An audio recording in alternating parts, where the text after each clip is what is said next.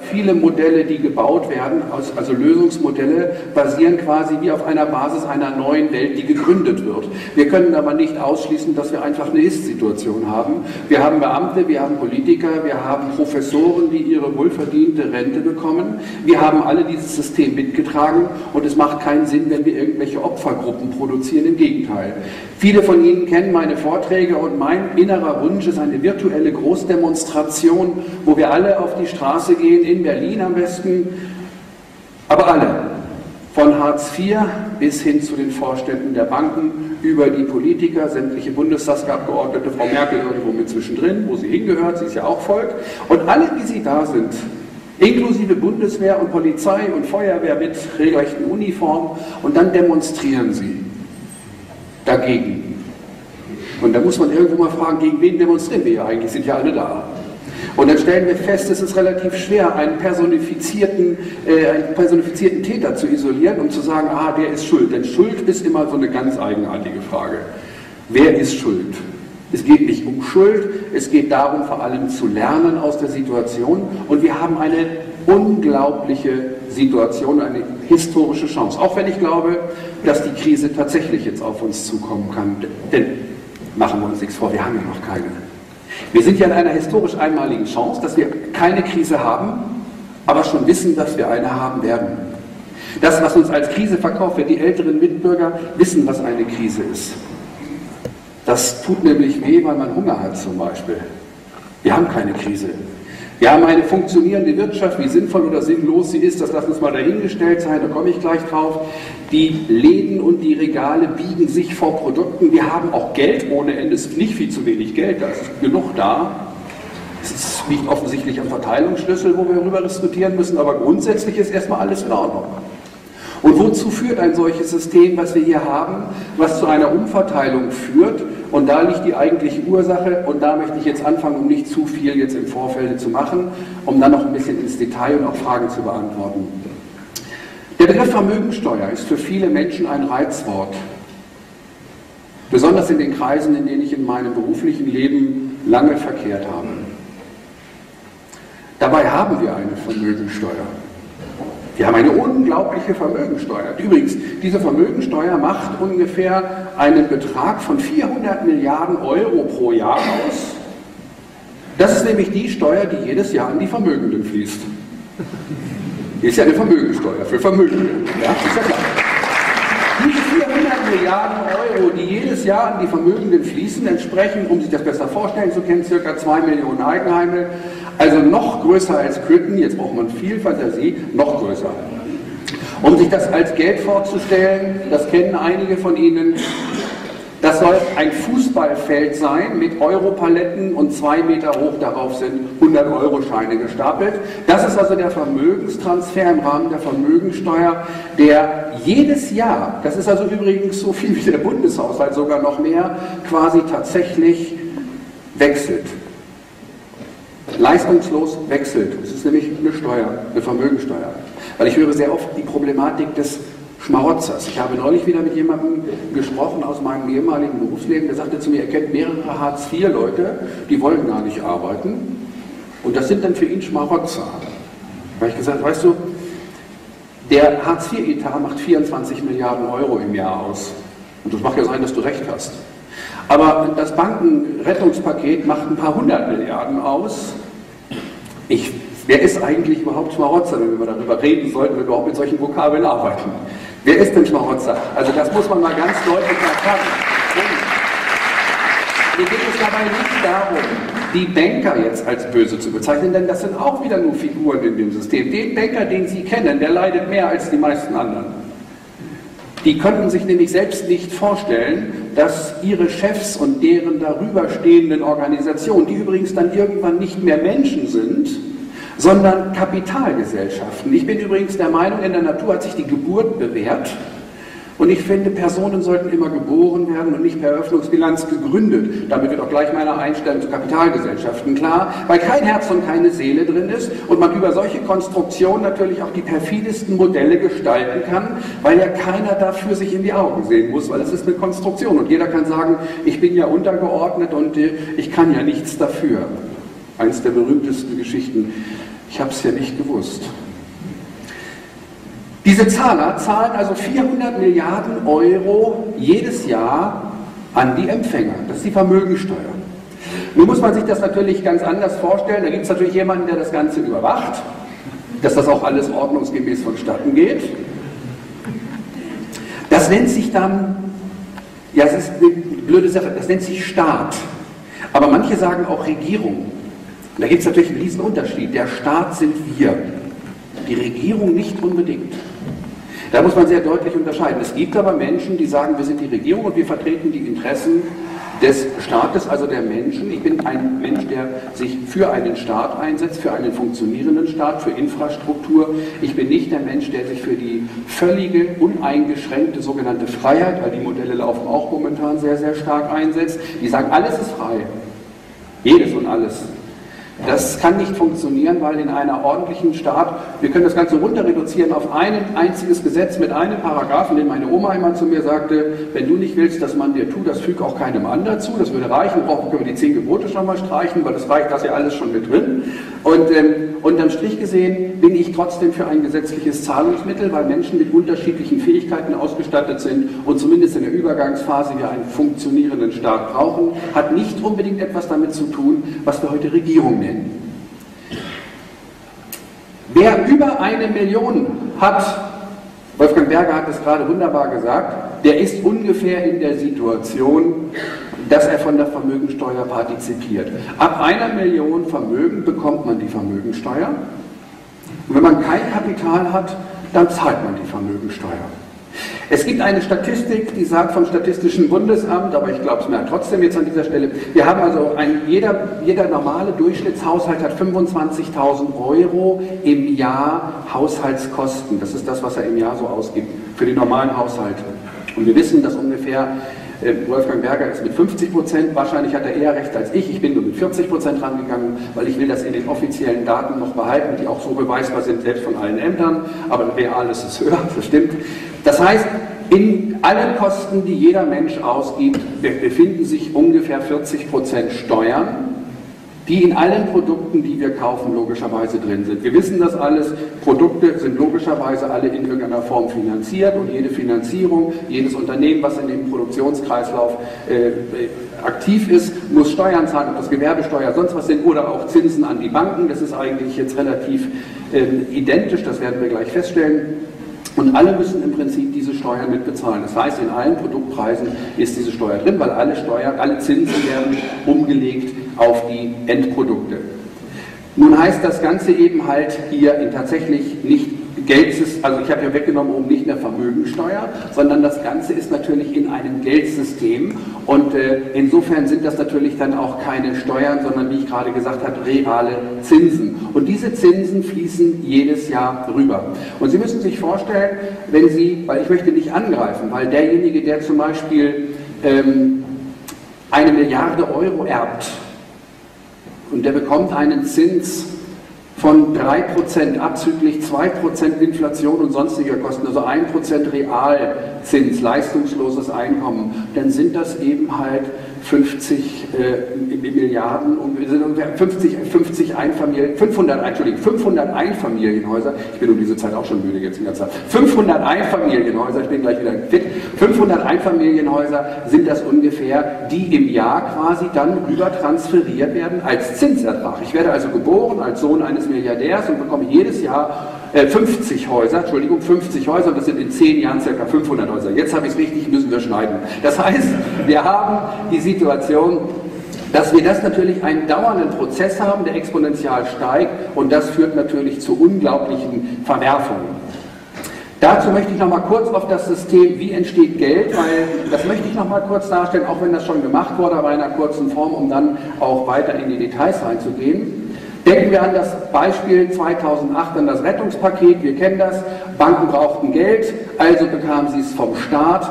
Eigentlich bekamen sie es von den Regierungen, aber wir sind diejenigen, die dafür bürgen. Bürger kommt ja auch von Bürgen. Und äh, so ist die Situation, dass uns Frau Merkel erklärt hat, das System ist alternativlos, das muss gehalten werden weil man hat Angst vor einem Staatsbankrott, ein gefährliches Wort, weil alle glauben, wenn ein Staatsbankrott kommt, dann würde quasi ein Land von der Landkarte radiert werden und das ist natürlich Blödsinn. So, also, ähm, aber wir gehen mal weiter. Frau Merkel guckt 2008 in die Staatskasse und stellt fest, sie hat minus 1,8 Billionen. So, und jetzt muss sie in die Tasche reingreifen und noch mal ein paar hundert Milliarden rausholen. Ist ja schwer. Das Verrückte ist ja, wir können ja gar nicht so denken, das verursacht ja bei uns Knoten. Wir haben ja ein Finanzsystem, ein Geldsystem, ähm, was ja so funktioniert, wenn, wenn fünf Leute in einem Raum sind und sieben gehen raus, dann müssen zwei wieder reinkommen, damit der Raum leer ist. Das verursacht bei uns natürlich einen gewissen Knoten im Kopf, aber genau so funktioniert ja unser System. Das heißt, sie greift also rein in die Kasse und holt jetzt noch ein paar hundert Milliarden raus. So, woher nahm er sich? Wo nahm der Staat das Geld von den Banken? Sie wissen das alle, natürlich klar. Er ließ sich von den Banken. Ich will es gleich nochmal bilanziell mal darstellen, wie das auf der Bilanz aussieht. Das ist nämlich ganz interessant. Der Staat ließ sich das Geld von den Banken. Moment mal, wie kann sich denn der Staat von den Banken Geld leihen, wenn der Staat äh, erstmal kein Geld hat, also damit kreditunwürdig ist? Zweitens äh, ist es so, dass die Banken auch kein Geld haben, weil die brauchen ja Geld, um gerettet zu werden. Und dieselben Banken, die also gerettet werden müssen, verleihen dann das Geld, damit der Staat es dann wieder zurückbezahlt an die Banken. Also da stimmt ja was nicht. Also das ist ja Hütchenspiel. Das merkt ja jeder, dass da irgendwas zumindest, äh, also Fragen drängen sich auf. Und jetzt kommt die Situation, die ganze Welt versinkt in Schulden. Das sind nämlich die großen Diskussionen, die wir immer haben.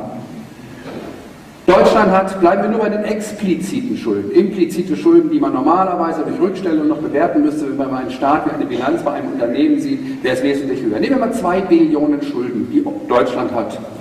Nehmen wir USA, hat jetzt die 15 Billionen Schulden Dollar erreicht, also rechnen wir mal 10 Billionen Euro auch umgerechnet in Schulden. Japan hat 8 Billionen Schulden.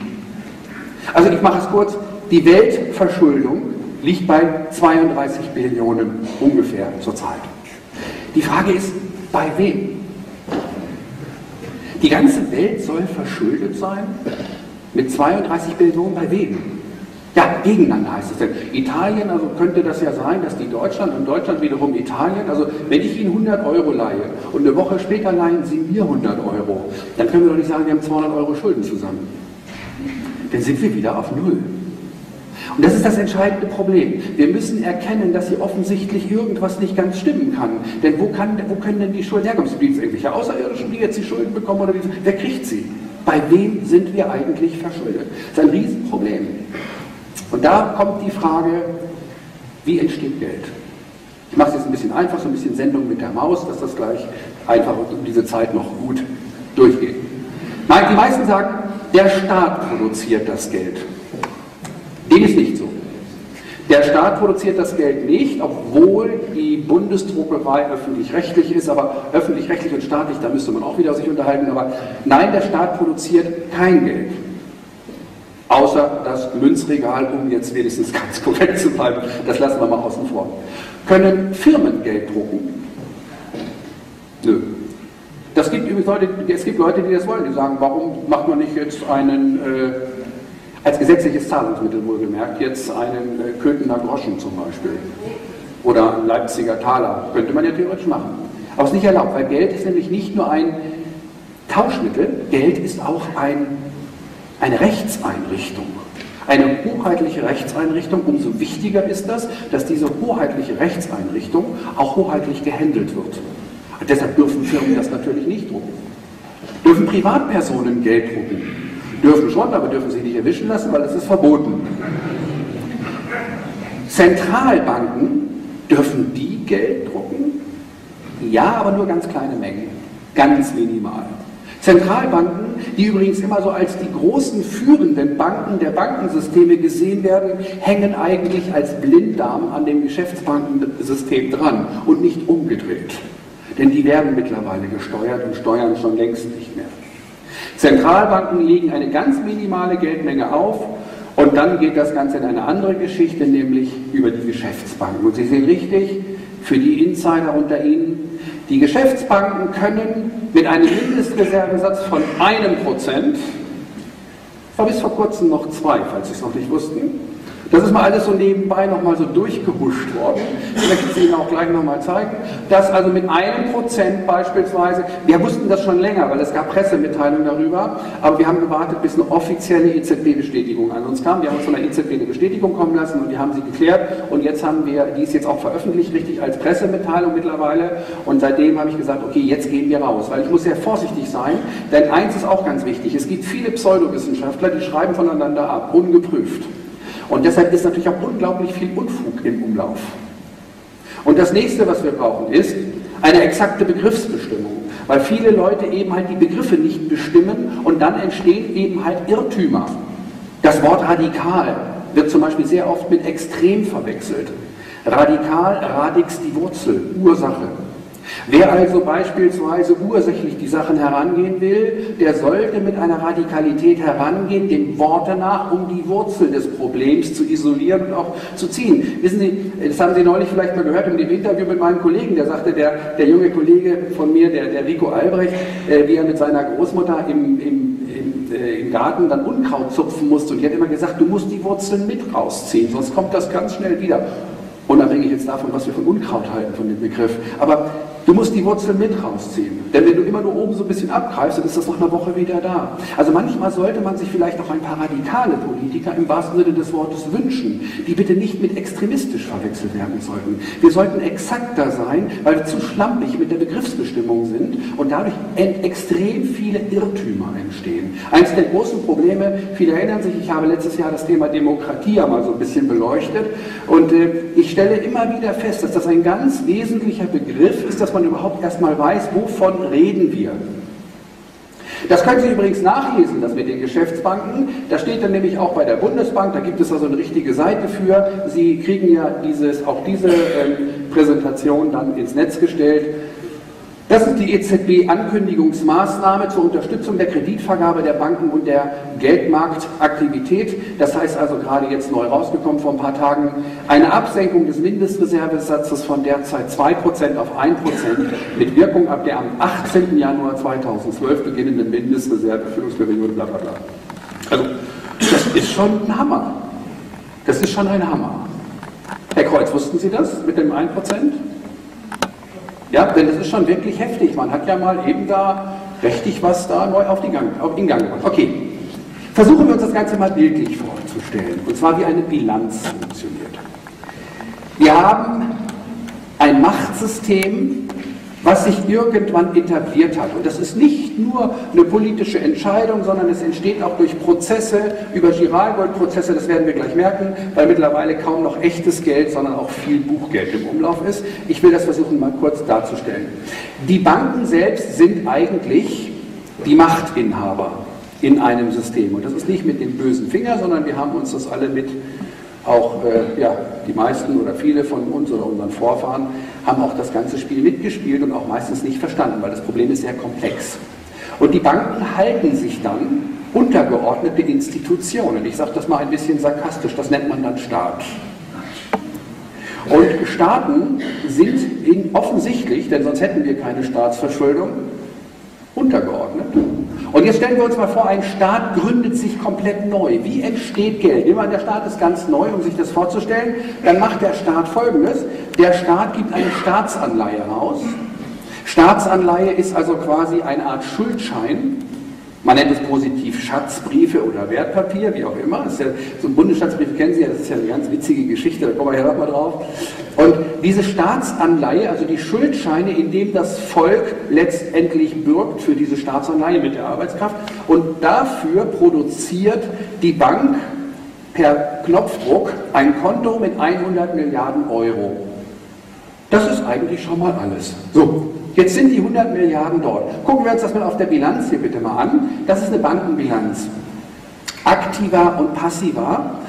Bilanzen dienen offiziell der Wahrheit und Klarheit, in der Realität eher der Vernebelung, dass es der Normalbürger möglichst nicht versteht. Aktiv und passiv hat nichts mit zu tun, der Linke ist sportlich und der Rechte liegt nur im Sessel, sondern aktiv hat damit etwas zu tun, da sind die Vermögenswerte und auf der Passivseite die Vermögensquellen. Und achten Sie auf eins, wenn Sie nichts von Buchführung verstehen, das Eigenkapital sollte immer auf der rechten Seite stehen, sonst sollten Sie mit denen keine Geschäfte machen. Keine Angst, es gibt solche Bilanzen nicht. Okay, das Entscheidende ist, Jetzt hat quasi diese Bank 100 Milliarden Guthaben, nämlich unterschrieben von dem Staatschef, von dem Regierungsrepräsentanten. Es gibt ja Menschen, äh, die sagen, wir sind die Regierung wir wollen euer Bestes und das funktioniert ja auch ganz gut.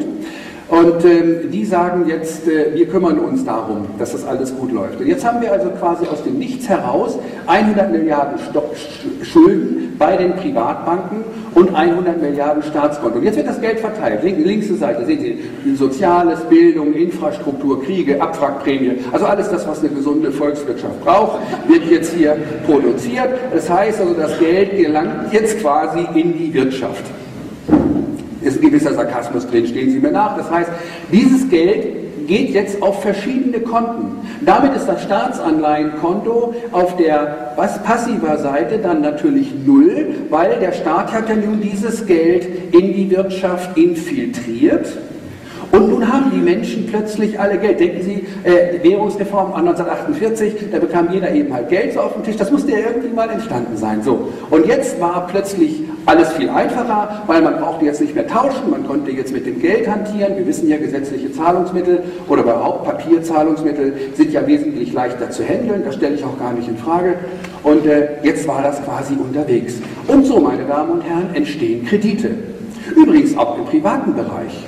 Ich will das gleich nochmal weiterführen. Also wenn Sie sich zum Beispiel ein Haus von 300.000 Euro bauen oder kaufen wollen, dann gehen Sie zur Bank und sagen, ich möchte dieses Haus kaufen oder bauen, das kostet 300.000, dann sagen die von der Bank, ja, das hätten wir gern als Sicherheit, dann werden die 300.000 Rückzahlungen im Rahmen des Kreditvertrages verbucht bei der Bank wieder als weiterer Forderungsposten, also als Positivwert. Und auf der anderen Seite wird aus dem nicht ex nihilo, ich lasse die einprozentige Mindestreserve jetzt mal weg, äh, wird dann geschaffen. Oder bei einer Firmengeschichte, jemand braucht 5 Millionen, weil er ein kleines Firmengebäude kaufen will, dann macht er das auf dieselbe Art und Weise. Er verpfändet sein Unternehmen, er verpfändet letztendlich seine Sachwerte und bekommt dadurch 5 Millionen Geld. So, das ist ja jetzt alles bis jetzt noch relativ klar, aber irgendwann muss das zurückgezahlt werden. Äh, also das wird dann irgendwann ist das, das wieder bezahlt und dann ist das Konto wieder null. Das, was jetzt kommt, ist identisch bei den Firmen und auch bei, der, bei den Privatverbrauchern. Ich will es nur einmal jetzt durchführen, damit das klar wird beim Staat. Wenn der Staat jetzt, nach, nehmen wir mal an, nach einem Jahr war das Ganze, jetzt muss er die Schulden zurückzahlen, weil der Staat sagt, wir wollen die 100 Milliarden zurück. Das ist jetzt aber doof, weil die sind ja, dann muss der Staat ja eine Steuer erheben. Jetzt achten Sie auf die linken kleinen Pfeile unten, die drehen sich jetzt um und jetzt muss er das Geld natürlich alles wieder einsammeln. In diesem Fall 100 Prozent, weil er muss ja 100 Milliarden zurückzahlen. So, und jetzt muss er natürlich alle wichtigen Sachen wieder einstellen, weil bei manchen Dingen macht es wahrscheinlich sogar Sinn. Entscheidend ist auf jeden Fall, jetzt ist kein Geld mehr in der Wirtschaft, wir haben Stillstand der Rechtspflege, die Wirtschaft ruht. Äh, ab und zu soll man ja ruhen, und das Staatskonto ist dann wieder mit 100 Milliarden voll und jetzt kann er beispielsweise der Staat die 100 Milliarden zurückzahlen und der Kredit ist getilgt. Soweit, so gut. Ist dahin verstanden? Nun gibt es eben nur ein kleines Problem, weil die Banken sagen, so ganz umsonst haben wir das natürlich nicht gemacht. Wir wollen noch Zinsen haben. Wir haben keine hohen Erwartungen, wir sind ja relativ nett und freundlich. Äh, 3%, damit kommen wir klar. Jetzt sagt der Staat, wo sollen wir denn jetzt drei Milliarden Zinsen hernehmen? Weil es ist ja null im Umlauf, weil das Geld, was vorher entstanden ist, ist ja jetzt nicht mehr da. Die drei gibt es gar nicht. Das heißt, der Staat muss anfangen, ich mache es jetzt, jetzt auch an dieser Stelle, sich in diese Verschuldenspirale reinzubringen. Er muss natürlich erstmal wieder neues Geld haben, damit das alles läuft. Das ist natürlich dieser Prozess der Verschuldung, der daraus resultiert, der findet natürlich am Anfang, also subkutan quasi statt, also unterhalb der Wahrnehmungsschwelle, aber irgendwann kommen wir in diese Problematik der Exponentialfunktion und die Exponentialfunktion ist ja etwas, was viele nicht wirklich ähm, nachvollziehen können. Das ist ein großes Problem, weil wir sind exponentiell denkend nicht gestrickt. Ich will jetzt keine Beispiele nennen mit Reißbrettern und sonst was, das kennen Sie alles, da brauchen wir die Zeit nicht für verschlampen, das ist nicht so wesentlich. Aber grundsätzlich haben wir aus dieser Geschichte heraus eine Schuldenlüge. Erstens, die Schulden von heute sind die Steuern von morgen. So wird es genannt. Das stimmt. Denn wir dürfen eines nicht vergessen. Wenn ich einen Bundesschatzbrief kaufe, dann pumpe ich dem Staat mein Geld. Der Staat braucht Geld, ich kriege von ihm 10.000 Euro, nein, ich kriege von ihm einen Schuldschein, Entschuldigung, und ich leihe dem Staat dafür 10.000 Euro. Jetzt hat der Staat die 10.000 Euro und muss mir dafür Zinsen zahlen.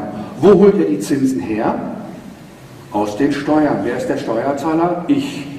Aha. Ich muss also quasi dann als, als äh, Bürger des Schuldners haften, weil ich ja gleichzeitig Gläubiger des Schuldners bin.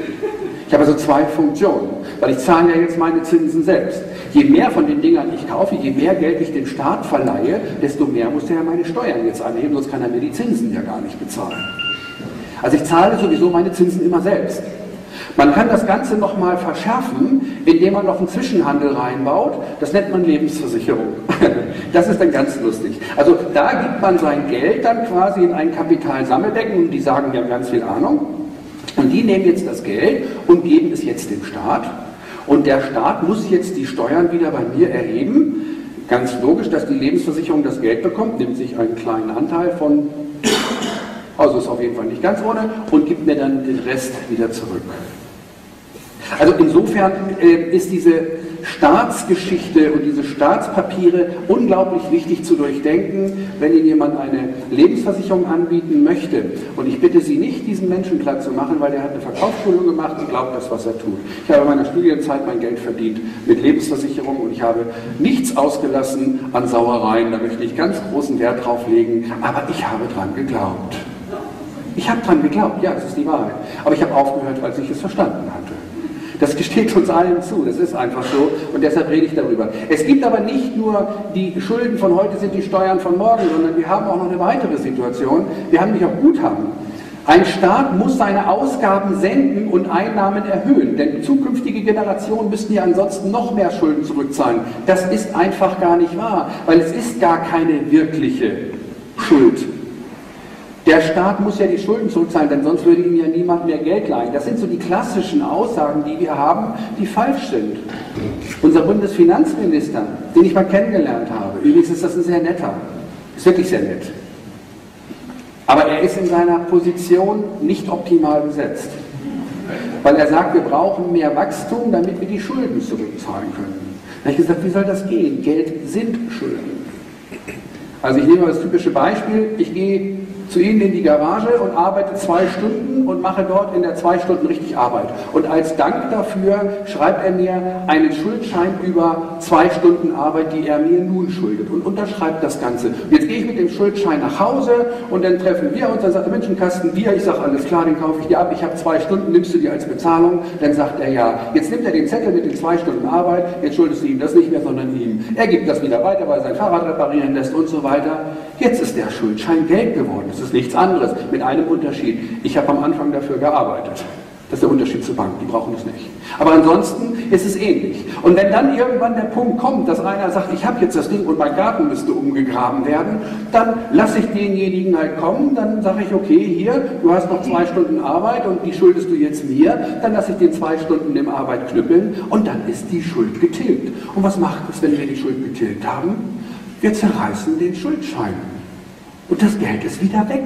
Und genauso funktioniert natürlich auch das Geldsystem, weil in dem Moment, wenn die Schuld zurückgezahlt wird, muss der Schuldschein, sprich das Geld, vernichtet werden in den Schredder. Und diese Absurdität ist für uns unglaublich schwer zu verstehen. Wir haben also auf der einen Seite ein Guthaben, was entsteht durch Kredit und auf der anderen Seite immer die Schulden plus die Zinsen. Und Sie kennen alle diese Kurve, wobei wir hier nochmal zusätzlich die Zinsschulden eingezeichnet haben als zusätzlichen Faktor, der wäre übrigens die untere kleine Kurve, die übrigens auch exponentiell verläuft. Das ist also quasi ein Kreis, aus dem man nicht mehr herauskommt. Und dieses System braucht man natürlich, um damit die Vermögensteuer von A nach B, also von fleißig auf reich, wir nennen es nicht von arm auf reich, sondern von fleißig auf reich. Wenn einer die Milliarde geerbt hat und bekommt 50 Häuser im Jahr, dann müssen ja, fünf, dann müssen ja diese 50 Häuser mit Händearbeit gebaut werden, mit Materialien, mit Einsatz und so weiter. Ähm, aber die Leute, die das bauen, dürfen da nicht drin wohnen, weil sie müssen es ja als Zinsertrag leistungslos abgeben. Hier geht es nicht um Gut und Böse, hier geht es um einen Prozess, den alle irgendwo akzeptieren, aber kaum jemand versteht es. Und dadurch kommen diese unglaublichen Verwerfungen zustande. Und jetzt ist die Situation, dass wenn man irgendwann eine bestimmte Summe überschritten hat, dann kommt man in die Situation, dass die Zinserträge, die man aus einer Million zum Beispiel hat, so hoch sind, dass ich damit bei meinem täglichen Konsum den Zinsanteil, den ich immer zahlen muss, letztlich kompensieren kann. Ich bin noch nicht im Plus, sondern ich bin gerade mal so neutral. Und jeder, der unter einer Million Vermögen hat, der muss die Vermögensteuer zahlen in Form der Zinsen, die in jedem Produkt drin sind. Ich denke, es ist einfach. Das Produkt nennt man alternativlos, das gilt es zu schützen, weil das hat sich bewährt. Die Frage für wen? Denn wir dürfen eines dabei nicht vergessen. Ich kenne sehr viele Menschen, die auch sehr reich sind. Und die sitzen beim Therapeuten und sind auch irgendwie unglücklich. Es ist ja das Verrückte, es hat ja niemand was davon. Auch wenn ich mich wiederhole. Sie kennen das Beispiel wahrscheinlich, wenn Sie meine, meine Auftritte, ich habe ja nur noch schon im Fernsehen darüber offiziell gesprochen, ich, wenn Sie in Sao Paulo sind und Sie kommen in diese Armutsviertel rein und Sie sehen dort Menschen völlig verelendet, tot, die durch Nahrungsspekulation und so weiter äh, eben halt in die Verelendung gehen. Sie haben da teilweise ein, zwei Kinder liegen in bestimmten Vierteln, die sind tot vor zwei Tagen, die räumt gar keiner weg, weil nur jeden Mittwoch kommt die Abfuhr, die die Toten abholt, die dann nach draußen gelegt werden. Solche Fälle gibt es dort. Und äh, wenn Sie das erleben, dann sagen Sie, um Gottes Willen, ich möchte niemals einer von diesen Armen sein. Und dann fahren Sie mal schnell rüber ins Reichenviertel. Da müssen Sie erstmal durch mehrere Schlagbäume durch und plötzlich haben Sie an den Häusern überall riesen Mauern und überall so spanische Reiter drüber. Und Sie sehen, die Kinder werden alle nur mit geschwärzten, gepanzerten Limousinen gefahren oder fliegen mit einem Hubschrauber zur Schule, weil sie Angst vor Entführung haben. Und dann stehe ich da und denke, verdammt, zu den Reichen möchte ich auch nicht gehören. Ja? Und das, es geht mir also nicht nach dem Motto, Sie wissen ja, da lachen immer einige drüber, ich bin Waldorfschüler. Und als ehemaliger Waldorfschüler habe ich aber eben halt auch Rudolf Steiner gelesen und auch eben halt die Kurse der Nationalökonomie und verschiedene andere Bereiche. Ich mache das seit vielen Jahren und ich bin da, denke ich mal, relativ Und ich beschäftige mich ja auch seit Mitte der 80er Jahre mit diesen Themen. Nicht so tief wie andere das machen, aber ähm, wir sind hier letztendlich in einer Situation, wo wir sagen müssen, rein aus rationalen Gründen sollten wir uns alle wünschen, dass der Wohlstand möglichst gleichmäßig verteilt ist. Das sollten wir uns alle wünschen. Dann geht es nämlich allen im Durchschnitt besser. Niemand ist glücklich, wenn er weiß, draußen ist die Verelendung. Das ist unmenschlich, aber wir werden in einem materialistischen, mechanistischen System gehalten. Wir werden im Prinzip konzipiert, auch gehalten wie, in einer, wie eine Maschine, wie eine Industriemaschine. Das ist übrigens auch einer der Gründe, warum ich kritisch mit der sogenannten österreichischen Nationalökonomie bin, weil sie mechanistisch den Menschen angeht und nicht mental menschlich. Und das ist für mich ein ganz wichtiger Unterschied. Aber mir ist auch eines immer wichtig dabei, weil ich habe selbst mal daran geglaubt, an, an äh, Wertewährung, an Gold unterlegte Währung oder reine Edelmetallwährung oder eben halt auch an Sachwertunterlegung, die nationalökonomischen Dinge, Mises und Hayek und so weiter. Ähm, und es hat auch gedauert, bis ich das dann verstanden habe, dass das wahrscheinlich doch nicht der optimale Weg ist. Sie sehen, ich bin immer im Konjunktiv, Konjunktiv weil ich so ganz sicher bin ich mir gar nichts mehr mittlerweile. Aber ich glaube, da der Weg, äh, der mit einer solchen Vehemenz dargetragen wird, wie nationalökonomische Modelle, halte ich nicht für den richtigen Weg, wohl dem ich jedem, der diese Philosophie vertritt, ich sehr ehre und achte und mit einem hohen Respekt entgegenkomme, weil im Gegensatz zu den meisten denkt er wenigstens über das Thema überhaupt nach. Deshalb ist es sehr, sehr wichtig, dass wir eines lernen, wir haben eine Szene von Kritikern. Ich erwarte nicht, dass jeder auf meiner Schiene ist und das alles gut findet. Was ich erwarte, ist den Respekt, dass wir respektieren, dass jeder von uns, so hoffe ich jedenfalls, in der richtigen Richtung unterwegs ist und dass wir gemeinsam letztendlich genügend Gegenstrom haben. Ich habe das gemerkt, dass ich den Plan B rausgebracht habe, was das für eine Problem, was plötzlich der Wind mir entgegenschoss, weil ich habe es getraut, eine Lösung anzugehen, die ich jetzt gleich angehen werde. Das, man, ich meine, ich kenne viele, die wissen, was sie nicht wollen. Mich interessieren mehr Leute, die eine Lösung haben und sagen, was willst du? Wir müssen jetzt aufhören zu motzen und zu schimpfen. Wir müssen jetzt sehen, wie kriegen wir es gemeinsam vom Tisch. Also, neues Spiel, neues Glück. Wunderbar.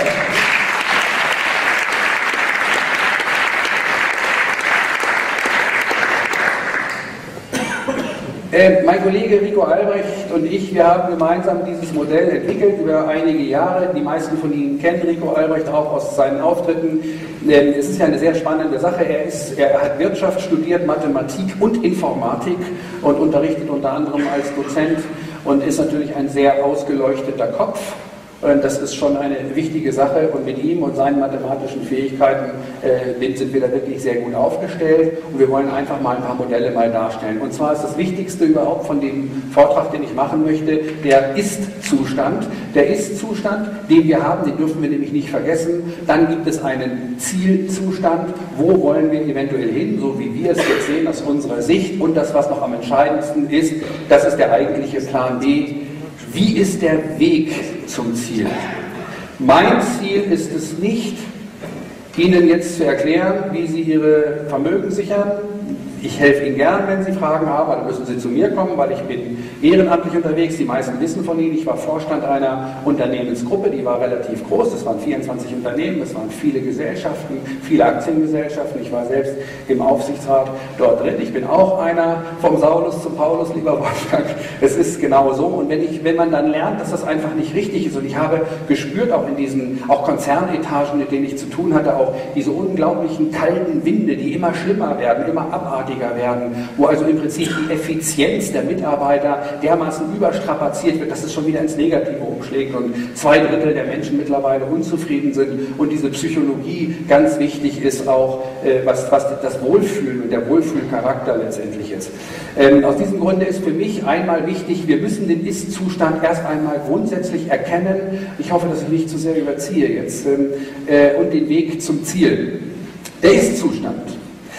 Ähm, wir haben also eine Umverteilung von fleißig auf reich, das sagte ich gerade, und das ist exponentiell wachsende Guthaben und Schulden. Es sind nicht nur Schulden, es sind auch Guthaben. Wenn wir sagen, unsere nachkommenden Generationen werden furchtbar verschuldet sein, dann würde ich sagen, ja, und unsere nachkommenden äh, Generationen werden auch furchtbar reich sein. Die Reichen sind nur weniger. Mein Vater hat schon immer gesagt, und das war eine ganze Bauernschleue, der sagte immer zu mir, die Intelligenten leben von den Dummen und die Dummen von der Arbeit. Das habe ich am Anfang nicht so richtig verstanden. Aber so ist es offensichtlich. Und wir haben natürlich aus dieser Problematik heraus, auch aus dem Zinseszinssystem, und äh, ich hatte heute Nachmittag um 16 Uhr natürlich auch nochmal ein, äh, von dem äh, Nico Pech einen, einen Vortrag gehört, der mich auch sehr beeindruckt hatte, wo es genau darum geht, wir haben also bestimmte Push- und Pull-Situationen, die also im Prinzip uns zwingen in diesen Wachstumswahn. Und es ist ja Wachstumswahn. Denken Sie mal darüber nach, wie sinnlos viel, sinnlose Arbeit schafft im kurzen Augenblick vielleicht positive Tendenzen. Aber nur kurzfristig. Ich habe gerade von dem äh, Christian, äh, wie heißt er? Ich habe es vergessen, leider, aber sonst, sonst, würde ich ihn jetzt sofort die Quelle nennen, aber es war sehr schön, er hat das sehr wunderbar gesagt, vielleicht fällt es mir gleich noch ein. Ähm, ein, ein, ein, Hochschulprofessor aus Aalen ähm, und äh, Christian Kirsch heißt er, glaube ich. Das war ein sehr interessant, oder Hirsch, Christian, bitte? Nee. Kreis. Kreis, Christian Kreis. Herzlichen Dank. Wunderbares Ding. Er sagte, was sind nutzlose Arbeiten? Ähm, Tom, du musst jetzt ganz stark sein, aber zum Beispiel Werbung. Werbung äh, hat er als ersten Punkt für nutzlose Arbeit angegeben. Und ich muss ehrlich sagen, natürlich ist Werbung wirklich nutzlos. Es gibt eben Berufsbranchen, wo Werbung zum Beispiel nicht erlaubt ist.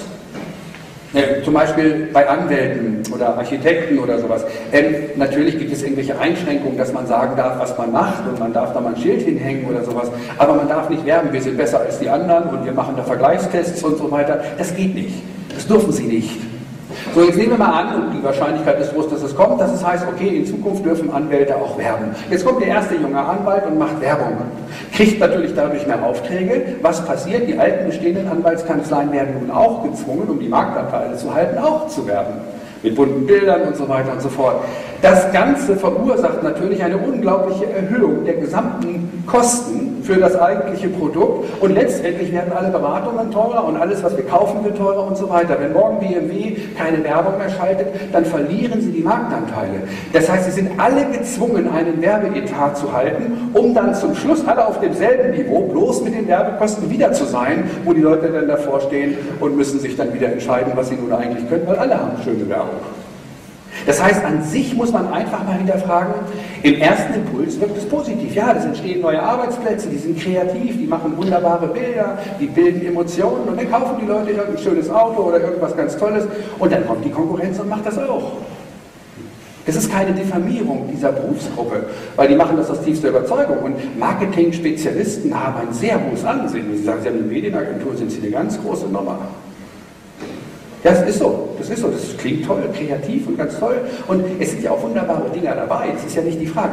Die Frage es verteuert unnütz unsere, unsere, unseren Lebensstandard. Alle unnütze Arbeit kostet zu viel Geld. Und die ist letztendlich schädlich für uns alle. Denn wir müssen sie alle durch unsere Arbeit bezahlen, weil wir nämlich längst keine Versorgungsökonomie mehr hatten, wie wir es früher hatten, wo man gearbeitet hat, um die Versorgung sicherzustellen, sondern wir haben eine Handels- und Profitökonomie. Alles, was handelbar ist, was tauschbar ist, wird letztendlich äh, ökonomisch dann als relevant gesehen und, und das hat letztendlich die Versorgungsökonomie abgelöst. Und das ist ein Problem. Denken wir an das Bruttoinlandsprodukt. Sie sind ja nun alle tief im Thema. Das Bruttoinlandsprodukt wird überhaupt nicht wirklich unterschieden. Ist es tatsächlich wirklich eine Maßeinheit? Rudolf Steiner hat da wunderbare Abhandlungen drüber geschrieben. Wir müssen unterscheiden zwischen einem Auto, das zum Beispiel einen Gebrauchswert hat, und auch einen Marktwert. Und jetzt nehmen wir mal dagegen ein Mittagessen. Ein Mittagessen hat einen unglaublich hohen Gebrauchswert, besonders wenn man Kohldampf hat. Aber es hat keinen Marktwert. Versuchen Sie mal gebrauchtes Mittagessen zu verkaufen. Ja, ja, das klingt absurd. Fließt aber beides identisch mit ins Bruttoinlandsprodukt. Es gibt keinen Unterschied. Das ist spannend, ne? weil die, überlegen Sie mal, was das bedeutet, was ich da sage. Wie wollen Sie denn einen gebrauchten Haarschnitt verkaufen für morgen? Ja? Seitdem habe ich mir ganz abgewöhnt. Oder wenn Sie, oder wenn Sie, oder eine Massage. Wie wollen Sie Dienstleistungen? Dienstleistungen haben keinen Marktwert. Sie haben keinen Tauschwert. Das ist eine einmalige Leistung und dann war es das. Sie können doch das nicht einfach zusammenschmeißen. Gehen wir noch weiter. Ja, okay, auch. Langsam, langsam. Jetzt geht es weiter. Jetzt kommt die Situation zum Beispiel, dass wir mal weiter vergleichen. Es gibt Dinge, die haben einen Wert und die haben einen Tauschwert. Nehmen wir das Auto und jetzt nehmen wir mal daneben ein Kilo Silber. So, jetzt stelle ich das Auto 1000 Jahre auf eine Wiese. Was finden Sie nach 1000 Jahren? Nichts mehr. Das hat sich aufgelöst. Da ist nicht mal mehr der Rostlau. Nach 1000 Jahren dürfte das Ganze erledigt sein. Sonst nehmen wir 5000 Jahre, ist auch egal. So, aber das Kilo Silber sieht noch aus wie neu. Ist von mir aus einen halben Meter tiefer in der Erde, aber es sieht immer noch gut aus. Wir müssen doch auch unterscheiden zwischen Rohstoffe und den Ressourcen, die dann da sind, wenn wir sie nutzen, um daraus Wirtschaft zu setzen, und eben halt auch den Sekundärproduktionen. Denn die Sekundärproduktionen sind doch letztendlich auch viel Fantasie. Das, was wir daraus machen. Ein VW Golf kostet 25.000 Euro und ein Ferrari kostet beispielsweise 200.000 Euro. Wenn Sie aber mal die Kosten für einen VW Golf mal zugrunde legen, was sind da für Materialien drin, wie viel Arbeitskraft, wie viel Vor-, wie viel Ingenieursleistung und so weiter, und würden diese Parameter auf den Ferrari umlegen, dann dürfte der Ferrari maximal 100.000 kosten. Warum zahlen die Leute 300.000? Geiles Auto. Das macht Spaß, das ist Image, das hat Freude, egal wie. Aber wenn diese Summe mit 300.000 reinfließt, dann muss ich wirklich die Frage stellen, ist das Bruttoinlandsprodukt eigentlich noch überhaupt noch eine objektive Größe, die wir überhaupt noch wissen müssen? Oder müssen wir nicht viel früher anfangen? Damit beschäftigen wir uns auch. Ich bin viel zu weit jetzt abgetrieben, Entschuldigung. Also das ist der Ist-Zustand und der Wachstumswahn der Wirtschaft resultiert aus all diesen Verwerfungen. Jetzt komme ich zu meinem Lieblingswort, was wir uns äh, mal irgendwann entwickelt haben, Danistakratie. Danistakratie da werde ich interessanterweise immer oft fehlverstanden oder offensichtlich kommt es auch fehl rüber. Das sind nicht irgendwelche bösen. Danista kommt aus dem Lateinischen, heißt verleihen und wuchern. Wuchern im Sinne von Wucherungen. Exponentialfunktionen wuchern. Krebsgeschwüre wuchern. Das heißt, wir haben einen Vorgang im Prinzip der exponentiellen Funktion. Das kommt aus dem Wuchern und Wucherungen sind ja auch im gesundheitlichen Prozess nicht unbedingt positiv zu sehen. Und aus diesem Grunde nenne ich dieses System Danistakratie. Aber mit Danistakratie meine ich natürlich nicht irgendeine bösartige Gruppe, die führt, um wieder die Feindbilder wegzukriegen, sondern wir sind alle Danistakraten, so wie wir auch alle Demokraten sein wollen. Ich weiß nicht, ob Sie es noch alle wollen. Ich weiß nicht, ob Sie es noch alle wollen wenn Sie wüssten, was Demokratie vielleicht sogar ist, denn da kann man sich ja auch eine Menge noch zu sagen. Aber trotz alledem, wir sind also alle dabei. unter dieser dallistokratischen Gesamtordnung, ich will die nicht beim Namen nennen, weil da gibt es auch keine Namen, die ich kenne, es macht nämlich keinen Sinn, es bringt nichts, wenn wir alles nur weitergeben, was andere uns vorherzählen und es ist unkontrolliert und Beweise sind nicht belastbar. Die Medien, meine Damen und Herren, haben eine unglaubliche Macht. Das haben wir jetzt gesehen bei dem ganz wichtigen Beispiel Herrn Wolf. Ja? Man sieht übrigens auch, wie, wie, Medien im Prinzip an den Themen vorbeigehen und eine solche Sache wie ISM plötzlich als, äh, wie nennt sich das, Fiskalrettungs- äh, und Dingens da genannt, das wird jetzt so ein bisschen Fiskalpaket, glaube ich, nennt man das. Klingt so nach Fäkalpaket, aber es nennt sich Fiskalpaket und äh, es ist wirklich unglaublich. Also das Problem ist, die Massenmedien haben auch die Macht darüber, jemanden zu stürzen oder aufzubauen. Ich denke mal, da sage ich nichts Neues. Wolfgang äh, Berger hat das gerade wunderbar vorgelesen von Swinton. Übrigens in meinem Buch Der Währungscountdown ist das gleich auf der zweiten oder dritten Seite dieses Beispiel. Unter den Massenmedien, meine Damen und Herren, das bitte ich nicht als Angriff zu verstehen, finden sich die Politikdarsteller. Politikdarsteller nenne ich sie ganz bewusst, weil ich glaube einfach nicht, dass sie wirklich das Volk und den Staat vertreten, sondern uns sagen, dass sie das Volk und den Staat vertreten und die meisten glauben das auch. Die Politiker, die wir haben, werden eingeschworen und sie machen nicht das, was sie tun müssen. Es gibt eben halt ganz bestimmte Grundlagen rechtlicher Natur und die werden nicht eingehalten. Sie wissen, dass wir in unserem Beirat Leute haben, die natürlich angefeindet werden, wie Hankel oder Schachtschneider oder auch Wolfgang Berger, die uns immer wieder unterstützen, auch mit, auch mit juristischen Fachrat. Wir haben also selbst äh, Richter, Landesrichter, ehemalige Landesrichter in unserem Beirat, AD, die mittlerweile das alles voll unterschreiben, dass äh, wir uns tatsächlich die Frage stellen müssen, vertreten die Politikdarsteller, die sich nämlich so darstellen, wirklich Bundesbürger? Oder vertreten sie andere Interessen? Und zwar übrigens auch hier wieder ganz klar, nicht unbedingt aus Böshaftigkeit, sondern aus Harmlosigkeit. Weil Menschen wählen und zwar nach Sympathie. Und ich kenne ganz viele Abgeordnete, und das sind ganz liebe Leute und viele glauben das. Ich, ich will mal Frank Schäffler nennen übrigens. Frank Schäffler, den ich ja nun gut kenne und den man auch nennen kann, weil der ja zumindest in dem Bereich schon relativ viel Durchblick hat. Für Politiker ist es schon ein richtiger Durchbruch.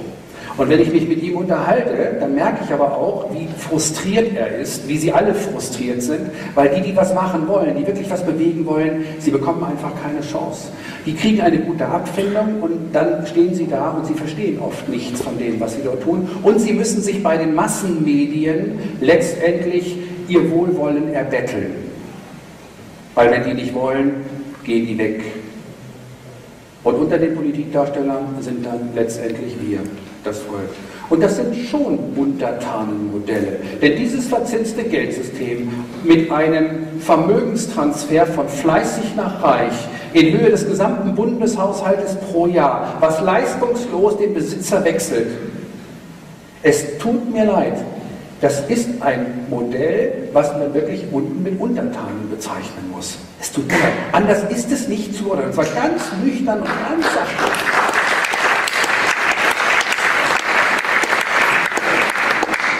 Meine Damen und Herren, Zielzustand.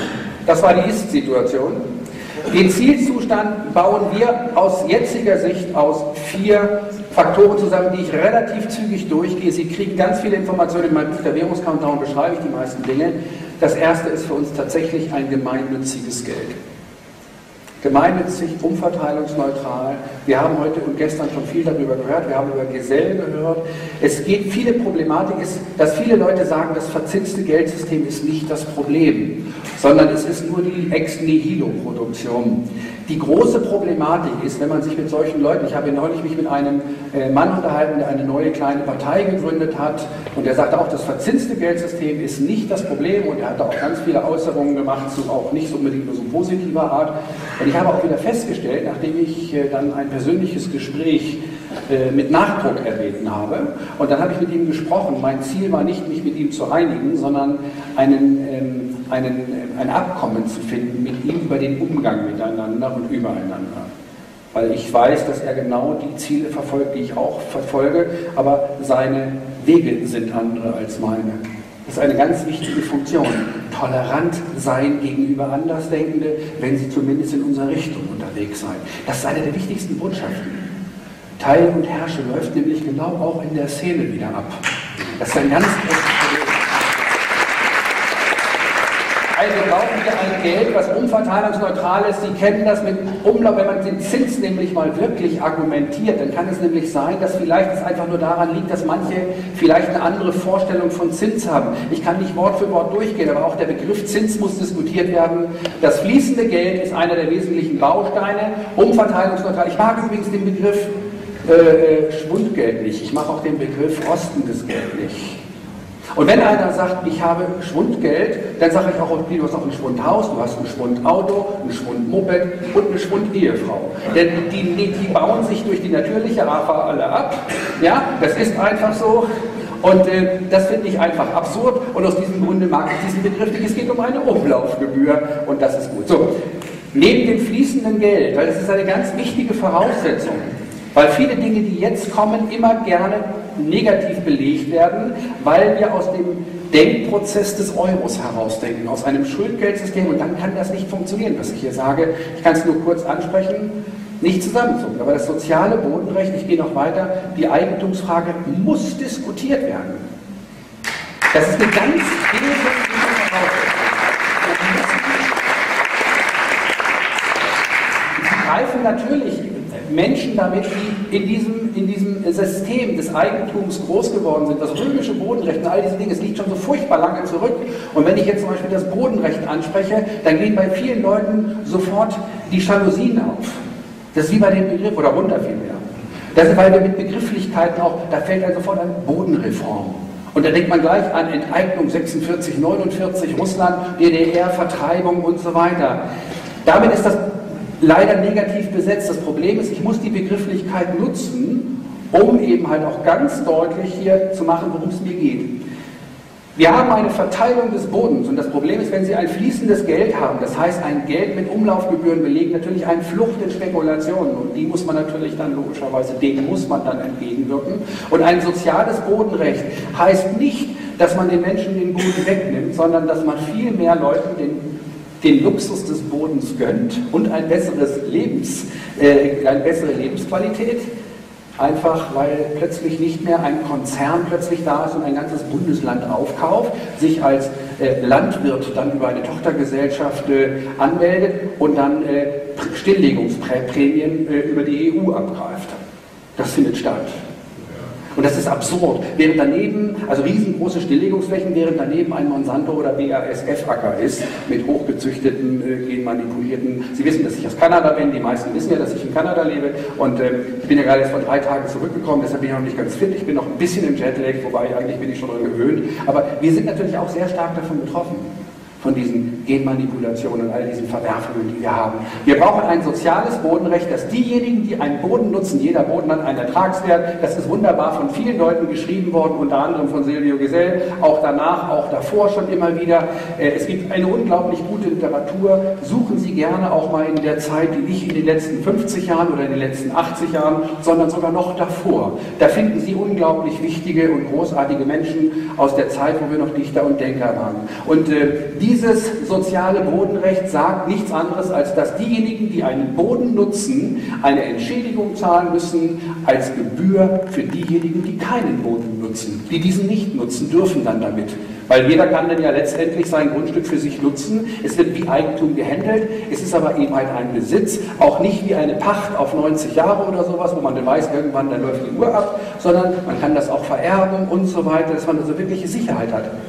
Für den Normalbürger ist das übrigens nichts anderes, als dass er seine Grundsteuer weiterzahlt. Bloß, dass diese Grundsteuer nicht mehr genommen wird, um die Zinsen für die Banken zu finanzieren, sondern als Entschädigung für die anderen. Das wäre nämlich zum Beispiel schon mal wieder ein kleiner Baustein für den nächsten Punkt. Und das wäre das bedingungslose Grundeinkommen. Und ich sage bewusst bedingungslos.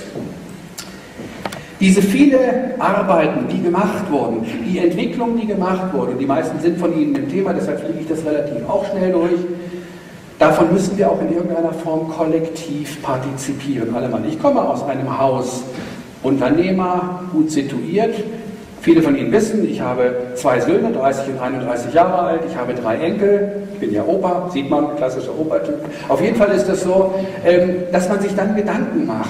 Aber wenn ich keine Kinder und Enkel hätte, würde ich das auch tun. Denn ähm, wir gehen hier mit unseren nachfolgenden Generationen unverantwortlich um. Und ich kann manchmal den Unterschied nicht zu erkennen einer direkten Straftat und dem, was wir hier teilweise tun, durch nichts tun. Meine ich ganz offen.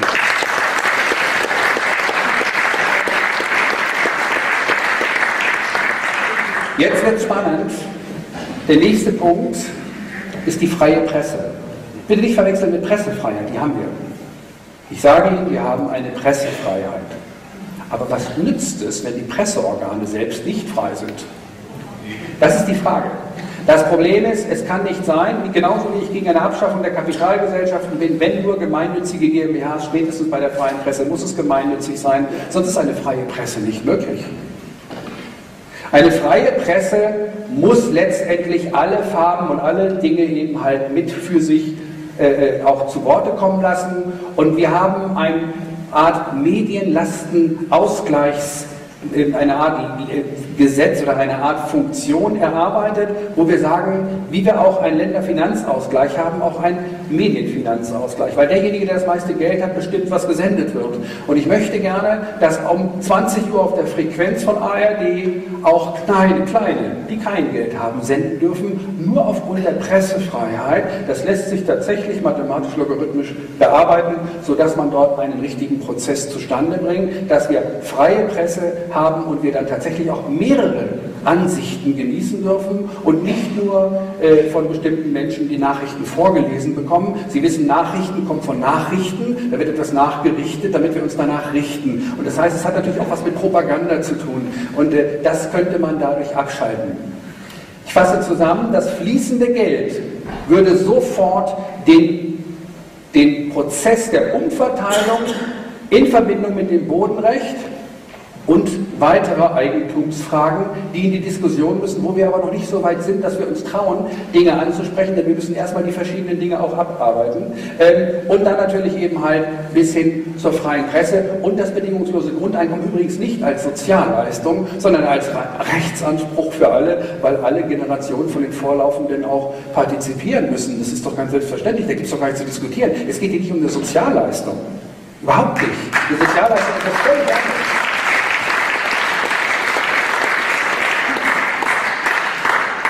Der Weg zum Ziel. Wir haben also einen Ist-Zustand auf der linken Seite und den Zielzustand. Bloß wie wollen wir das tatsächlich umsetzen? Es ist schwer. Dazu haben wir diesen Plan B entwickelt und da sind wir gerade dran mit unserem Beirat. Und zwar auf Hochtouren. Wenn man von uns nichts hört, heißt es nichts, dass wir nichts tun. Aber wir gehen nicht mit jedem Satz, den wir geschrieben haben, raus. Wir sind sehr, sehr vorsichtig mit unseren Aussagen momentan. Weil die ersten Grundlagen, die wir schaffen müssen, ist, wir brauchen eine ganz klare öffentliche Zentralbank mit Geldschöpfungsmonopol aus unserer Sicht. Das ist unser momentaner Stand. Es gibt unterschiedliche Begrifflichkeiten. Der eine nennt es monetativ, wie auch immer. Wir verbinden das mit dem fließenden Geldsystem. Entscheidend ist, öffentlich heißt nicht Regierung und es heißt nicht privat, sondern das heißt Staat. Bürger. Übrigens, die Bundesbank war vom Grundsatz her nicht die schlechteste Lösung. Abgesehen davon, dass sie in diesem Schuldgeldsystem natürlich auch befangen war. Aber von der politischen, rechtlichen Grundlage eigentlich war das eine ganz vernünftige Geschichte. Das heißt, es muss eine Systematik geben, eine öffentliche Zentralbank mit, ich habe das beschrieben in meinem Buch Der Währungskandown, beispielsweise mit entsprechenden volkswirtschaftlichen Abteilungen, die also zum Beispiel tatsächlich die Wirtschaftskraft messen und dadurch auch die Geldmenge darauf abstimmen. Allerdings äh, habe ich zu der Zeit noch nicht die Wirtschaftskraft so bemessen, wie ich sie heute bemesse, sondern ich habe auch noch durch vom Bruttoinlandsprodukt gesprochen als Wirtschaftskraft. Heute bin ich auf einer ganz anderen Ebene und sage, ähm, ich bin der Meinung, wir müssen die Ressourcen in einem bestimmten Zeitraum, in einem Jahr zum Beispiel, zugrunde legen als Basis allen Wirtschaften, woraus nachher alles weitere resultiert, ob das Sicherheit ist, ob das Entsorgung ist oder sonst etwas, das wäre alles überhaupt kein Thema. Das wird alles daraus finanziert und das kann man quasi als Berechnung Berechnungseinheit zugrunde legen und dann ergibt sich übrigens auch ein Anteil auf jeden Bürger, am besten der gesamten Welt, die das verteilt haben müssten. Dann hätten wir nämlich ein globales Problem insgesamt gelöst. Es sind noch ganz weite Spiele, wo man noch ganz vorsichtig sein muss und wenn das jetzt in diesem Video entsteht, wird das als Sequenz wieder rausgenommen, heißt es alles klar, da wird wieder der Sozialismus neu erfunden oder sowas. Das ist es natürlich nicht, aber damit muss man leben, wenn man im Kreuzfeuer steht. Was wichtig ist, ist eine Staatsentschuldung. Aber wir haben festgestellt, wie kann sowas laufen? Denn der Staat, es kann nicht sein, dass die Bürger bürgen und arbeiten müssen, damit diese Systeme in dieser Form weiterlaufen. Man könnte ja theoretisch, das sagen viele, das sagt zum Beispiel unser Bundeswirtschaftsminister, wir könnten die Schulden zurückzahlen. Gut, der ist noch nicht so weit. Aber wenn man eines mal erkennt, dass wenn ich Schulden zurückzahle, das kann man erkennen, und, und, das, und, und, dann wird die Geldmenge logischerweise vernichtet bis auf Null, weil Schulden und Guthaben dasselbe sind, bis auf den kleinen Zinsanteil will ich nicht weiter gehen. Das ist also schon mal auszuschließen. Wir könnten die Staatsschulden auch annullieren. Wäre auch eine Maßnahme. Das wäre zum Beispiel ein Bankrottmodell. Beim Bankrottmodell zucken unglaublich viele zusammen und sagen, oh, ein Staatsbankrott, das ist aber, dann geht es ja allen ganz schlecht. Muss nicht. Wenn man einen Staatsbankrott vernünftig, konzentriert und betreut, sauber abwickelt, kann das für alle wunderbare Entwicklungen haben, weil ein Land mit Staatsbankrott, Argentinien war zum Beispiel vor kurzem soweit, ist nicht, das haben sie jetzt nicht gesprengt und ist im Atlantik versenkt worden, ist immer noch da. Ich habe geguckt. Und äh, also das war nicht weg. Also man hat nur Probleme gelöst gehabt. Griechenland wäre natürlich ein ideales Modell. Ein Staatsbankrott kontrolliert. Wir sollten uns diese Angst nehmen lassen, dass ein Staatsbankrott automatisch zur Verelendung und Verarmung führt, wenn man es vernünftig einleitet und sauber betreut. Da gibt es Modelle, auch damit beschäftigen wir uns. Eine der wunderbarsten Möglichkeiten wäre aus unserer Sicht, die Staatsanleihen, die wir haben, unter Aufhebung der Zinspflicht in Guthaben konvertieren. Das ist einer der entscheidenden Sätzen, Sätze des Plan Bs. Den muss man erstmal auf der Zunge zergehen lassen, um ihn zu verstehen. Das heißt, der Staat hat ja letztendlich Schuldscheine herausgegeben und ich habe dem Staat Geld geliehen dafür. Damit ist es letztendlich die Situation, wenn wir die jetzt zurückzahlen, dann müsste das Geld ja vernichtet werden. Das würde nicht gehen. Wenn die zurückzahlen, geht es nicht mehr. Das ist das Geld wieder weg. Aber wenn man beispielsweise diese Schuldscheine, die haben ja einen nominalen Wert, was weiß ich, 10.000, umwandeln würde in dem Moment an einem bestimmten Stichtag in Zahlungsmittel, dann wäre es plötzlich Geld. Jetzt sagen viele, dann hätten wir aber Inflation. Ja. Aber zurzeit haben wir mehr Inflation und es ist nicht abzusehen, wohin die Spirale noch gehen wird. Wir haben hiermit die Möglichkeit, ein Modell tatsächlich einzuleiten. Ich kann es hier nur in einer kurzen Form, normalerweise ist es eine Sache, wo ich eine Woche dran arbeite, um diese Dinge im Einzelnen durchzugehen, sonst ist es nämlich sehr schwer zu verstehen. Gerade dieser Punkt, nämlich Staatsanleihen und der Aufhebung der Zinspflicht, die Zinsen zahlt ja eh jeder selbst durch die Steuern, spielt ja keine Rolle, man verliert ja nichts. Ich muss linke Tasche, rechte Tasche, ich muss es vorher an Steuern bezahlen, um es anschließend zurückzubekommen, zumindest gesamt gesehen. Ich denke mal, das ist okay.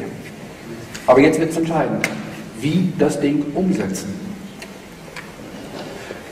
Dazu brauchen wir eine Ausarbeitung der notwendigen Gesetze. Daran arbeiten wir. Wir sind dabei, uns mit der Thematik auseinanderzusetzen. Das heißt, ein Gesetz zu bauen oder eine Grundlage zu bauen, die das Zentralrecht, die beispielsweise auch die ähm, Gewaltenteilung neu ordnet, neben der legislativen, judikativen und exekutiven natürlich noch eine, bleiben wir bei Bernd Senfs äh, Argumentation, eine monetative und ich gehe noch weiter und sage eine mediatative, dass auch die Medien als Staatsgewalt separiert werden, dass wirklich dort auch die Kontrolle des Staates, nicht zu verwechseln der Regierungen, das sind keine Ministerien, ich rede vom Staat. Das haben wir zurzeit nicht. Das, das, muss man immer wissen. Also, dass man da nicht irgendwie in eine falsche Denke reingerät. Das kann ganz schnell passieren. Daran arbeiten wir gerade. Ähm, das Grundgesetz Artikel 146 gibt es übrigens her. Denn im Artikel 146 steht ja drin, dass das Grundgesetz eben ein Provisorium ist und das könnte man natürlich ideal nutzen. Ich will hier nicht die Diskussion, ist das Grundgesetz eine Verfassung oder nicht. Da gibt es mir auch viel zu viele ähm, äh, halb- äh, und semi-wissende Leute, die erklären, wie die Welt läuft und rauf und runter. Auch das ist mir zu kritisch. Das bringt uns überhaupt nicht weiter, weil die Amerikaner zum Beispiel haben eine Verfassung, das nützt ihnen aber auch nichts. Ja, also insofern ist das nicht die Frage. Aber wir können auf dieser Basis des Artikels 146, wo ja schon drin steht, dass an dem Tag, wenn also äh, das Grundgesetz erlischt und eine Verfassung eben halt in Kraft gibt, dass dann das Grundgesetz eben hinfällig ist. Also wir könnten auf der Basis bauen. Und dann würden wir zum Beispiel die Gesetze einreichen in Berlin. Wir wollen ja den friedlichen Weg, weil ich will keine, ich will keine Gewalt, ich will Frieden. Unglaublich, das ist ein unglaubliches Spiel mit dem Feuer. Ich habe unglaublich viel Kontakte zum Beispiel zu den Abgeordneten und ich sehe, wie unglücklich die sind. Das ist gut. Ja, wir haben ganz viele Leute beim Militär, die haben die Schnauze voll. Bei der Polizei, die haben die Schnauze voll, die wollen nicht mehr, die sind deprimiert. Ich habe mich mit Menschen unterhalten, neulich in Kanada mit einem aus der Polizei, äh, aus einer höheren Ebene, der gesagt hatte, wir rechnen bei einer Umsetzung des Lissabons-Vertrags, dass also beispielsweise gegen das eigene Volk vorgegangen werden sollte, mit einer Ausfallquote von über 80 Prozent der, der Polizisten, die den Befehl verweigern werden. Also solche Prozesse laufen.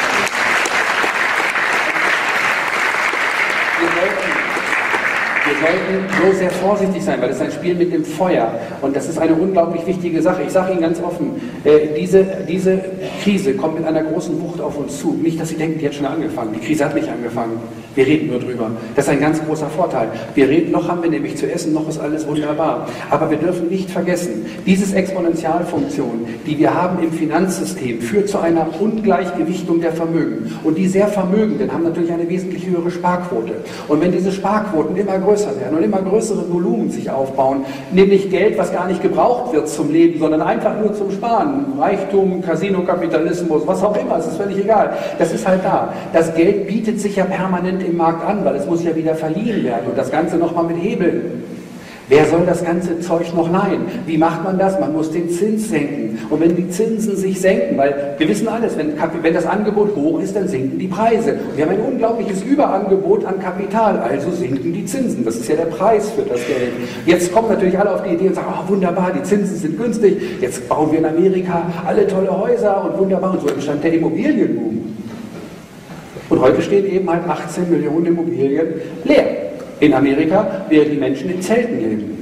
Es ist eine absurde Konstruktion. Das heißt, aber nicht nur das, übrigens die Immobilienblase, dieser Immobilientumor, der da momentan gerade ist, der ist in Spanien und in, in, in England ungleich höher zurzeit als in den USA noch war. Also die große Krise ist noch gar nicht, gar nicht angefangen in dem Bereich. Und dieses Geld, was sich billig anbietet, führt natürlich auch zur Überproduktion. Das heißt also, dass jetzt plötzlich die günstigen Zinsen äh, viele neue Fabriken entstehen lassen, weil die Zinsen ja günstig sind. Und wir haben mittlerweile ein Angebot, dass wir 35 Prozent mehr Autos produzieren können, als überhaupt nachgefragt werden. Das ist absurd. Das führt irgendwann dazu, dass wir dringend deindustrialisieren müssen, dass wir dringend die Überkapazitäten abbauen müssen. Und das macht man ich denke an den großen Krieg zwischen 1914 und 1945. Das war ja einer, den wir nochmal unterteilen. Aber unterm Strich gesehen, wollen wir uns mal eines angucken. In der Zeit zwischen 1933 und 1941 in den USA war die Arbeitslosenquote beispielsweise zwischen 15 und 25 Prozent. Und es war der größte anzunehmende Glücksfall für die Amerikaner, dass Pearl Harbor kam. Plötzlich kamen Rüstungsaufträge rein. Und ich sage das nur einfach, weil man muss einfach nur wissen, wohin das immer wieder läuft. Das läuft immer wieder auf Zerstörung ab. Nach dem Zweiten Weltkrieg war Europa platt. Die Amerikaner waren eigentlich auch platt, aber nicht ganz so platt wie wir. Sie konnten plötzlich wieder liefern. Das heißt, wir haben ein System, was auch physisch auf Zusammenbrüche immer wieder aufgelegt ist. Das ist die logische Konsequenz, um im Prinzip die Überkapazitäten abzubauen. Könnte es sein, dass deshalb Vorstände von großen Konzernen so unglaublich hohe Gehälter bekommen, weil ein Gewissen einfach unglaublich teuer ist? Teurer als die Arbeit? Denken Sie mal drüber nach. Ich kenne ganz viele Leute, die ganz unglücklich sind. Ich kenne Konzernchefs, vor denen ich solche Vorträge gehalten habe. Ich habe neulich vor einem Verband der deutschen Lebensversicherer gesprochen. Mit meinen Themen. Die waren nicht glücklich. Aber ich fand das toll und ich habe denen das immer wieder gesagt, weil ich greife doch diese Leute nicht an. Die wissen nicht, wie sie ihre Familie ernähren sollen. Die haben Angst gehabt. Es ist so. Okay. Die nächste Variation wäre Crash abwarten und danach den Systemwechsel durchführen. Wäre auch eine Maßnahme. Denn der Crash ist mathematisch berechenbar. Wann er dann genau stattfindet, das ist eine zweite Frage. Aber irgendwann kommt dann der Punkt, wo es dann einfach nicht mehr geht und das auch der Dümmste versteht, ich sage, eigentlich sind die Währungen eh schon, das System ist schon tot, aber es ist noch nicht umgekippt. Es geht jetzt nur noch darum, die Fallrichtung zu bestimmen, um das Nachfolgemodell zu installieren. Zumindest sieht es momentan so aus. Aber wir möchten im ersten Moment ganz klar auf die sogenannten Politiker, die wir haben, eingehen und wollen ihnen beispielsweise sagen, hier, wir haben ja einen Gesetzesvorschlag, wir sind die Lobby des Volkes, Lobbyistengesetze durchwinken seid ihr gewohnt. Wir sind wieder Lobbyist, aber diesmal ist die Lobby das Volk und wir sind Lobbyisten des Volkes und wir möchten gern, dass ihr das nach alter Manier auch mal kurz durchwinkt. Ich möchte das natürlich so machen, denn äh, wir müssen ihnen ja eine Chance geben, denn es kann ja sein, dass wir uns irren. Vielleicht sind die ja wirklich gut und vertreten unsere Interessen und ich täusche mich auf ganzer Linie. Also muss ich ihnen ja die Chance dazu geben. Meine Erwartungshaltung ist da weniger optimistisch als, als es gerade klang. Aber ich möchte den Weg einhalten, weil ich möchte mir nicht nachsagen lassen, dass wir in irgendeiner Form mit Gewalt in irgendeiner Form vorgehen, sondern eben halt mit Idealismus im Interesse der Menschen. Und wenn wir es schaffen, die vielen Finanzbeamten, die vielen Politiker, die vielen Menschen, die auch in diesem System unglücklich sind, dran zu hängen, wenn wir schaffen, die mitzunehmen, wäre das wunderbar. Artikel Grundgesetz möchte ich noch mal ganz kurz, Artikel 20 Absatz 4. Ähm, ich glaube, ich bin gleich fertig. Ähm, das Grundgesetz Artikel 20 sagt, die Bundesrepublik Deutschland ist ein demokratischer und sozialer Bundesstaat. Zwei, alle Staatsgewalt geht vom Volke aus. Nein. Ich bitte Sie. Sie wird vom Volke in Wahlen und Abstimmungen durch besondere Organe der Gesetzgebung, der vollziehenden Gewalt und der Rechtsprechung ausgeübt. Die Gesetzgebung ist an die verfassungsmäßige Ordnung, die vollziehende Gewalt und die Rechtsprechung sind an Gesetze und Recht gebunden. Und jetzt, gegen jeden, der es unternimmt, diese Ordnung zu beseitigen, haben alle Deutschen das Recht zum Widerstand wenn andere Abhilfe nicht möglich ist. Nun haben wir ein Problem. Dieser Satz ist natürlich nur Makulatur, das muss man auch ganz klar sagen. Denn in einem Rechtsstaat ist ein Widerstand nicht nötig. Und in einem Unrechtsstaat ist er nicht möglich. Und da liegt das große Problem, das wir haben. Und da müssen wir lernen diesem Dilemma umzugehen. Und das Dilemma kann sein, nur Ruhe bewahren, weiterhin Überblick verschaffen und weiterhin nach außen die Informationen zu tragen.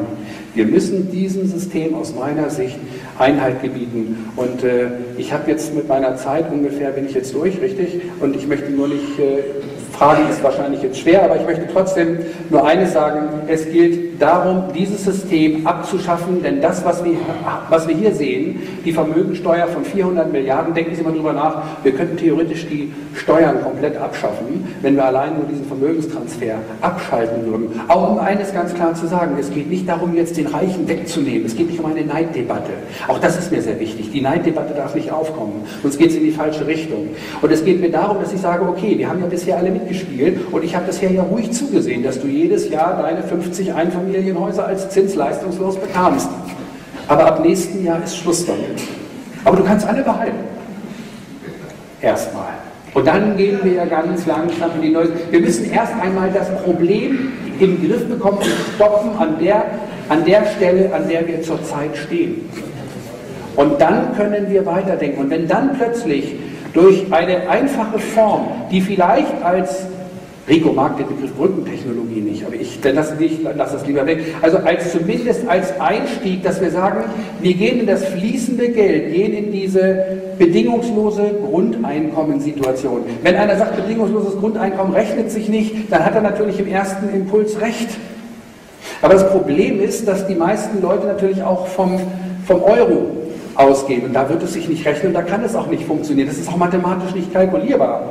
Das Problem ist, dass wir heute in der schnelllebigen Zeit ganz schnell etwas lesen, verstehen und aburteilen. Die meisten springen los, die ich kenne, als Königstiger und landen dann als Bettvorleger. Und das ist intellektuell ein echtes Problem. Das muss weg. Und ich möchte Sie darauf hinweisen, das ist ein Plan B, ist eine unserer DVDs. Äh, die haben wir gar nicht hier, weil die ist ausverkauft, aber wir kriegen wieder welche. Aber ich möchte Sie noch auch auf mein äh, oder auf das Buch, auf das Hörbuch von meinem Kollegen Rico Albrecht ähm, hinweisen. Und das klingt sehr revolutionär, klingt auch sehr hart. Das Buch heißt Steuerboykott. Aber mit Steuerboykott ist keine Aggressionshaltung gemeint, obwohl wir diesen Begriff ganz bewusst so gewählt haben. Denn ich kann ja sagen, Steuerboykott, ich kann auch sagen beispielsweise Hochhaus, das ist, nur, ist erstmal nur ein Substantiv. So, und äh, es geht hier nicht darum, Steuern zu verweigern, sondern im Rahmen der sogenannten gesetzlichen Möglichkeiten, die wir hier noch haben, alle Möglichkeiten auszunutzen. Der Niki Pech hat das vorhin deutlich gemacht und er hat das sehr deutlich gemacht, zum Beispiel auch in Form von kleinen äh, äh, Wegen, von, von kurzfristigen Investitionen, von Investitionen zum Beispiel in Nahrung. In Kanada ist es zum Beispiel so, da haben wir einen Freund, der hat zum Beispiel eine, eine Schweizer Käserei und der hat dann von uns das Geld dafür bekommen und der macht dann den Käse äh, und äh, wir wollen keine Zinsen haben in Form von Geld, sondern einfach in Käse. Und äh, damit fängt es an. Und über diese Schienen beispielsweise lassen sich durch kleine Möglichkeiten, und im Steuerboykott ist eine Art Zehn-Punkte-Plan drin, wie kann man vermeiden, das System ohne Kriegsandrohung, ohne irgendwelche dramatischen Situationen, sondern durch Aufklärung, durch ganz klare protestieren, durch Protestieren. Also es muss protestiert werden, wir müssen auf die Straße, wir müssen es deutlich machen, wir müssen die Kraft haben. Und viele sagen immer, das ist mein Lieblingsbeispiel, dann komme ich auch zum Ende, ich bin ja so klein und kann alleine nichts gegen die tun, weil ich bin ja nur zu klein. Und da sage ich immer, wenn Sie eine Nacht mal mit einer Mücke in einem Schlafzimmer im Sommer verbracht haben, dann wissen Sie mal, was ein kleiner primitiver Organismus so alles anrichten kann. Also nehmen Sie sich nicht kleiner, als Sie sind. Meine Damen und Herren, ich bin einer der Mitgesellschafter für, den, für das neue Geld, für die neue Geld GmbH, die ähm, der Wolfgang Berger vorhin ansprach und auch ich möchte Sie darauf hinweisen, wir wollen versuchen, den 9.6. zu einem großen Erfolg zu machen. Wir können damit, es ist nicht unsere Veranstaltung, sondern unser aller Veranstaltung.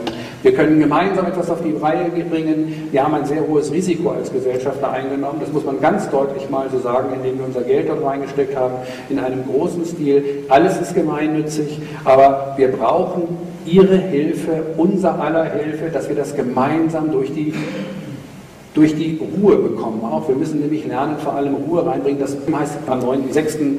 Lust auf neues Geld ist also nicht negativ, nicht furchtbare, dramatische Situationen, sondern tatsächlich eine positive Vision über die Möglichkeiten, wie es laufen kann, im Interesse aller Bürger, die in Deutschland eigentlich nur in Frieden miteinander leben wollen. Sämtliche Hautfarben, sämtliche Fragen, Geschlechter und allen drum und dran und so muss es laufen. Danke, das war es von mir. Vielen Dank.